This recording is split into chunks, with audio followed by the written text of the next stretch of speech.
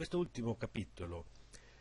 sull'origine dei diaspri parleremo di un gruppo di diaspri un po' strano, i diaspri agate. È un gruppo di confine fra i diaspri e le agate ed è diciamo, la transizione fra due mondi con una chimica e una, una genesi transizionale fra i due gruppi. E siamo chiaramente nel gruppo di diaspri chimici, cioè quelli che si formano per precipitazione diretta da soluzioni, quindi secondo la classificazione che abbiamo usato fino adesso, non sono trasformazioni di materiali preesistenti come i diaspri oceanici che si formano per trasformazione di opale, i diaspri vulcanici che si formano per trasformazione di vetri vulcanici o i diaspri su fossili che si formano mm, sostituendo materiali organici come eh, ossa o legno. Quindi siamo nel gruppo della precipitazione diretta, gli diaspri chimici. Abbiamo visto che i diaspri chimici hanno la, una struttura di base che è la laminazione, per cui abbiamo definito un gruppo di diaspri che abbiamo chiamato laminati, e eh, un paio di strutture mh, mm, dovute a fenomeni secondari che, che, producono i diaspri orbati e i diaspri brecciati. Abbiamo visto nel gruppo dei diaspri brecciati che c'è una, una, transizione eh, dalla formazione, dalla, mh, mm, dalla genesi di diaspro alla diciamo alla precipitazione di calcedonio negli interstizi fra le brecce, fra i cluster delle brecce. Quindi siamo già in una chimica di transizione nei diaspri agate, entriamo nettamente in questo gruppo, eh, però sia il diaspro che l'agata si formano in, nello stesso momento, mentre nei diaspri brecciati, come abbiamo visto, nella maggior parte dei casi c'è un cambio nella eh, geochimica delle soluzioni, per cui non sappiamo bene quanto è passato fra la formazione del diaspro e la formazione del calcedonio, quindi possono essere, anzi in genere sono due eventi totalmente diversi, mentre nei diaspri agate abbiamo la concomitanza dei due fenomeni. Beh, il termine diaspro agata è usato in maniera molto generica eh, dai, dagli addetti ai lavori, dai lapidari, da chi tratta grezzi. E eh, si possono chiamare diaspri agate basicamente quelle tutti quei materiali che sono bicomponenti, in cui c'è una porzione chiaramente di diaspro e una porzione chiaramente di calcedonio e, e secondo i casi mh, mm, merita più il termine di diaspro, come questo Cobra Jasper, o di agata, come questo vulcano agata, eh, senza nessuna logica di base. Quindi adesso entriamo eh, nel merito di un, una, un significato genetico per questo nome e cercheremo di usarlo in maniera corretta solo per quei diaspri che hanno formato diaspri agata in concomitanza. Anche se eh, l'uso generico del termine diaspro agata per qualunque materiale di, di dubbia origine mi, mi sembra assolutamente corretto. Ecco, quindi abbiamo visto nel capitolo precedente che la genesi di un diaspro brecciato che è un tipo di diaspro agata, può essere il risultato di la dissoluzione e eh, la precipitazione, la dissoluzione del diaspro e la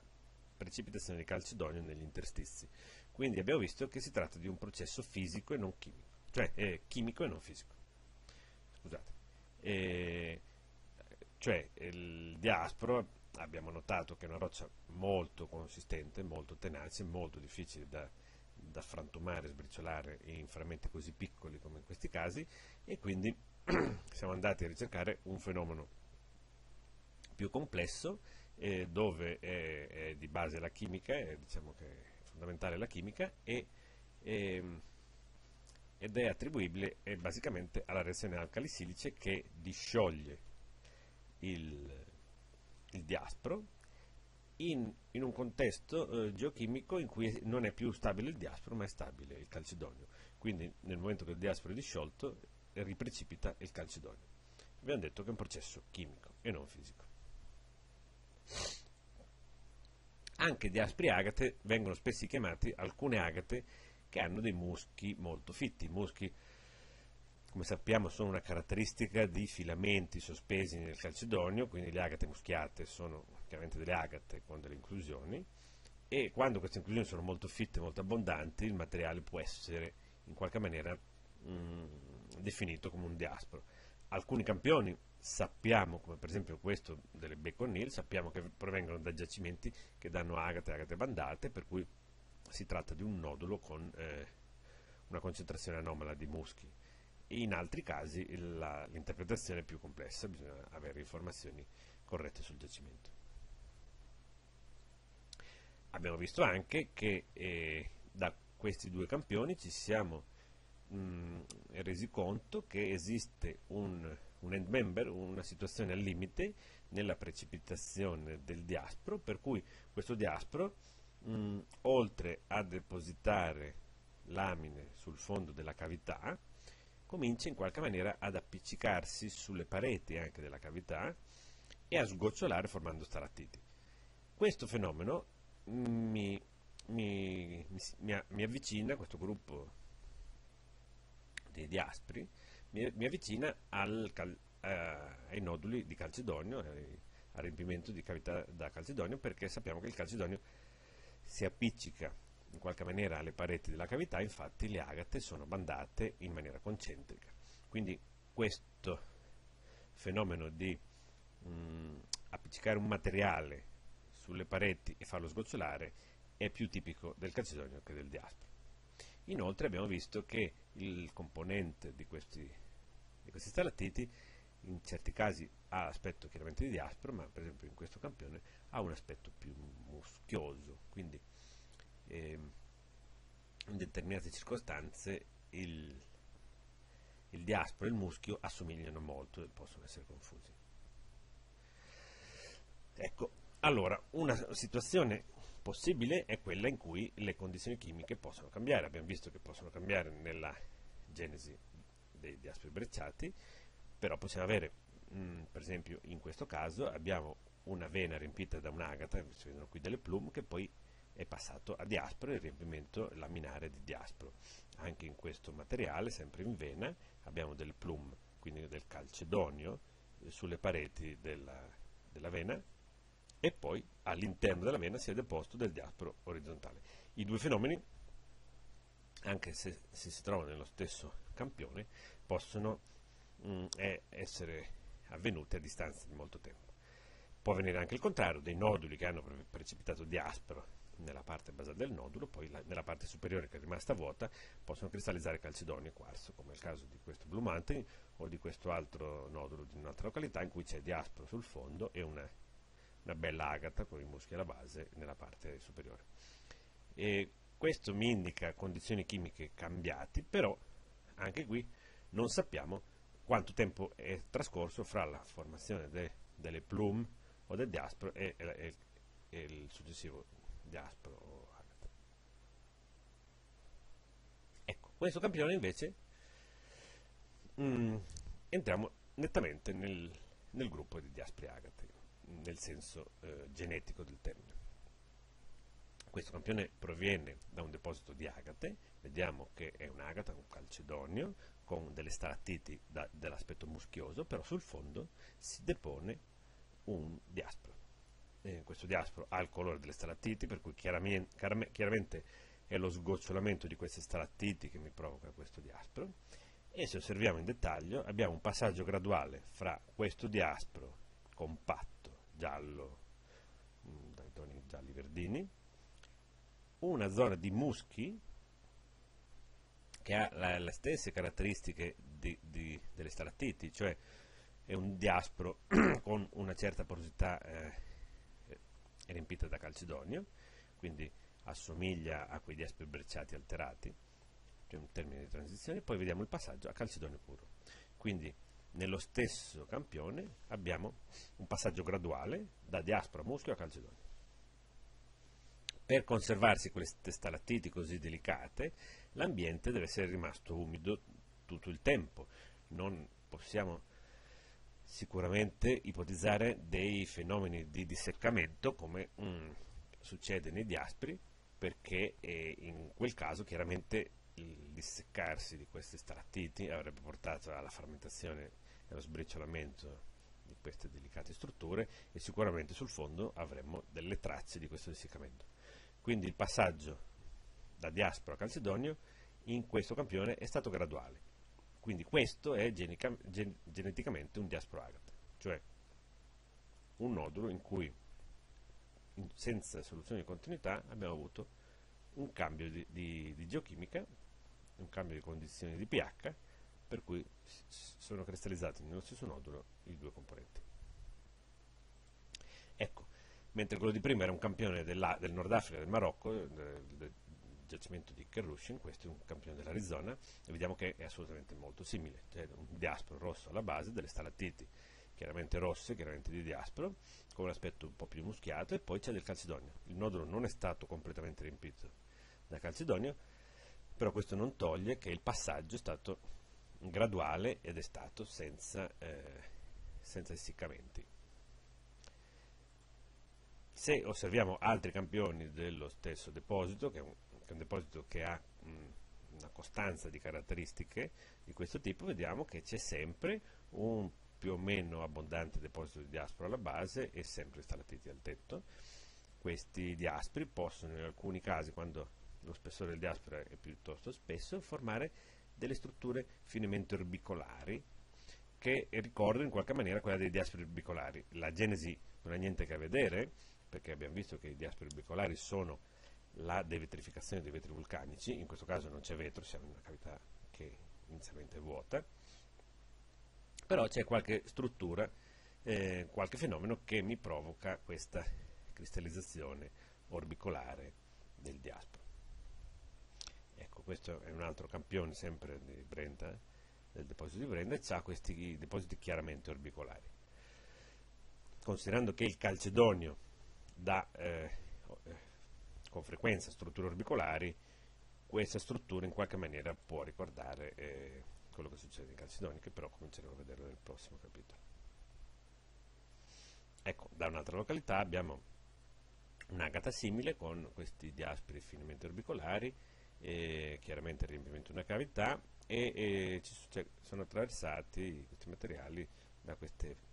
linee, che sono delle strane fratture. Questo, queste linee di fratture associate ai diaspri orbicolari le abbiamo trovate anche in questa agata Raster Tail del Messico, un'agata che apparentemente sembra un'agata muschiata, fittamente muschiata, che però ha anche questa, queste caratteristiche un po' bivalenti fra eh, il calcedonio e il diaspro. Un altro deposito di agate, di diaspri agate, del, il deposito del Caddy Mountain nel sud di California, ci sono dei grossi spessori di diaspora alla base e le stalattiti nella parte superiore. Anche qui abbiamo un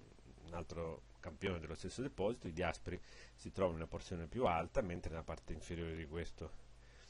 di questo campione abbiamo una sequenza di un materiale dall'aspetto muschioso con molto calcedonio inframmezzato e quindi anche qui abbiamo una specie di di aspri muschiosi e di aspri più compatti in sequenza. Questo è una vena nel deposito Laguna del Messico che venne chiamata agata inferno, è un'agata appunto in vene, non in noduli come è frequente eh, per le agate laguna, molto colorata, però è caratterizzata da avere una base eh, dall'aspetto muschioso, anche se molto colorato, dai colori gialli e rossi e, e delle staratizze di stessi colori che sgocciano dal soffitto questo materiale.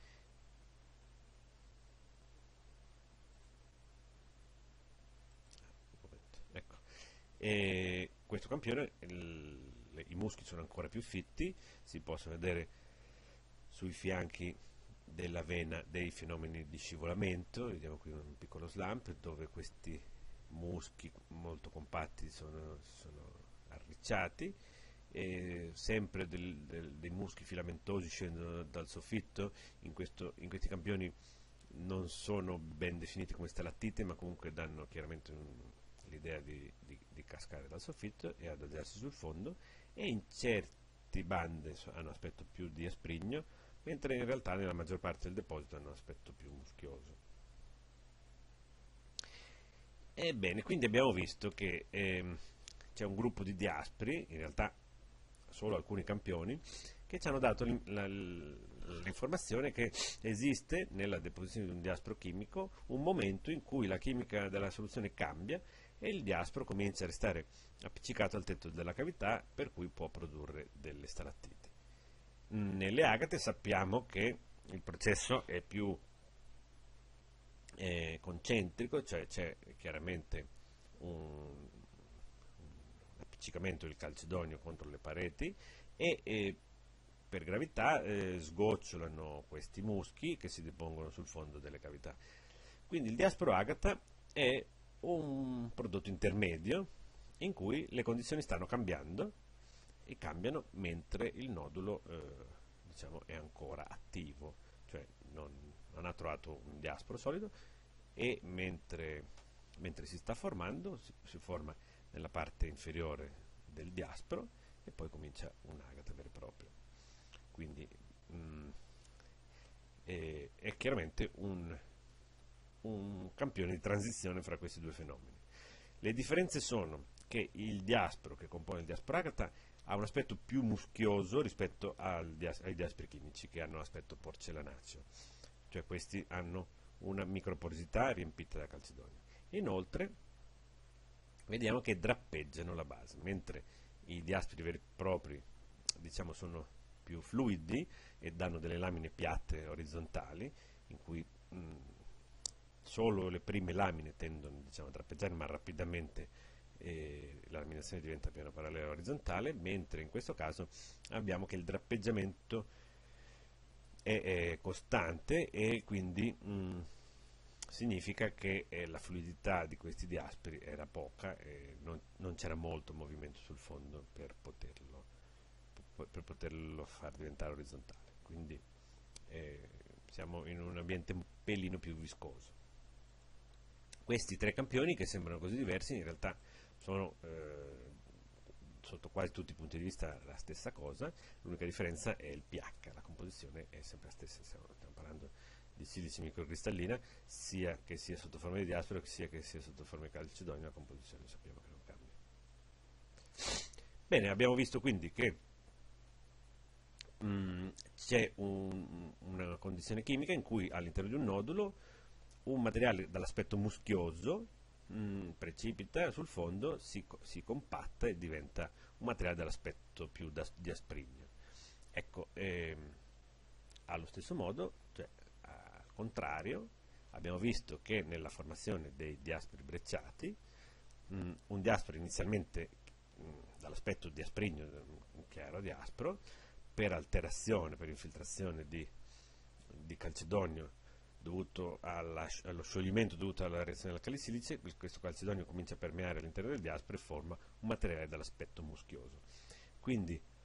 questo significa che mh, da un punto di vista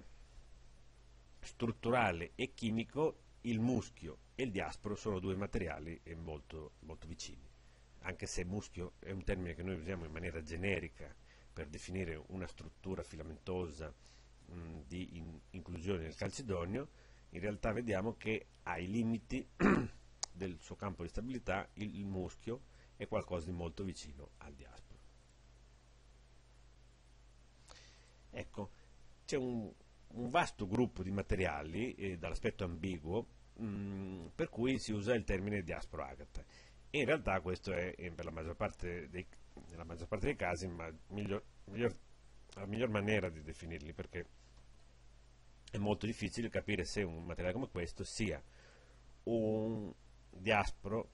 che è diventato brecciato e, e in cui l'alterazione del diasporo è molto spinta oppure un'agata muschiata con una concentrazione altissima di muschi che ha depositato in, in maniera più o meno complessa questi muschi sul fondo di una cavità. Quindi mh, mm, vi faccio vedere alcune, alcuni campioni di, di aspri agate di, in cui la, la, definizione, la genesi eh,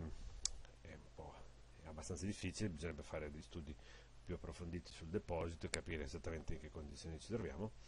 E, e tra l'altro in molti, in molti, di questi casi la formazione di aspri agate sono eh, fenomeni locali all'interno del fenomeno, quindi è possibile che Mentre questo nodulo dà chiaramente dei diaspori stratificati, magari nello stesso deposito a pochi, a pochi metri si formavano delle agate bandate normali o, o dei diaspri. io non, non, conosco tutti questi depositi, però è possibile che non sia un, il deposito con caratteristiche omogenee. Questa è ancora l'agata Raster Tail, che è un'agata molto bella, però abbastanza difficile da interpretare. Qui ancora un campione. Vediamo dei muschi, dei filamenti, però molte strutture che hanno l'aspetto di asprigno e, e certi campioni sono totalmente opachi e hanno clasti tipo breccia sparsi. Ecco, questo è un altro materiale che verrebbe definito muschiato, in realtà i muschi hanno delle forme che ricordano anche come disposizione dei clasti, ricordano quello dei, dei diaspri brecciati. Ecco, un altro materiale dall'aspetto di Esprigno, con molto calcedonio, con molte strutture da fratturazione, chissà eh, di fronte a cosa ci troviamo. Anche in questo caso vediamo dei festoni dall'aspetto di Asprigno, delle forme allungate, poteva essere un diaspro brecciato, un diaspro alterato in qualche maniera. Qui vediamo che c'è chiaramente un fenomeno gravitativo, però nella parte bassa siamo di fronte a un materiale che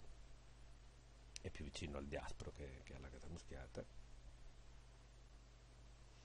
Ecco, quindi per entrare nel mondo delle agate, delle agate muschiate, dobbiamo trovarci di fronte a un deposito che anche se dà dei materiali dall'aspetto colorato, rosso e omogeneo, però ha una struttura filamentosa ben, ben coerente. Ecco, il Maori Mountain, per esempio, eh, o sempre il deposito di Caddy Mountain, danno dei eh, materiali con filamenti